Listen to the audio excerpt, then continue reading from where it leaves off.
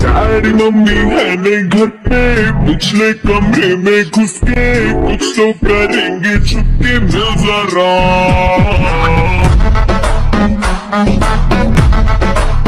Thank